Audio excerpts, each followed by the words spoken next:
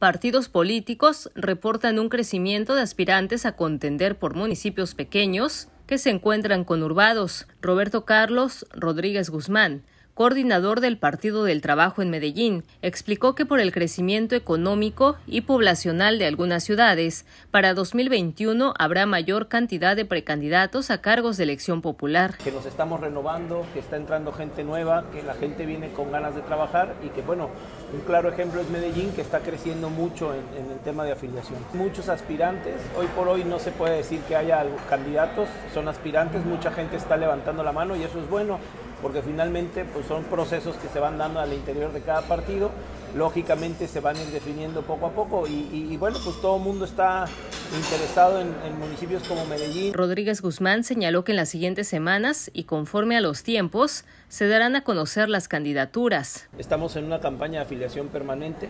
Un ejemplo claro es Medellín. Nosotros llevamos ya un rato afiliando gente y la verdad es que hemos ido creciendo, ya alrededor, eh, pues vamos a suponer que en estas fechas ya somos más o menos 600 personas las que estamos afiliados al Partido del Trabajo solamente en la zona de Medellín. Es una clara señal de que poco a poco vamos creciendo. Este, y pues bueno, vamos creciendo con eso, con trabajo, hablando con la gente, eh, comentándoles que el Partido del Trabajo es una muy, muy buena opción para, esta, para este 2021. Confió en que el Partido del Trabajo logre buenos resultados electorales en 2021. Boga Reyes en la cámara para imagen del Golfo, Laura Morales.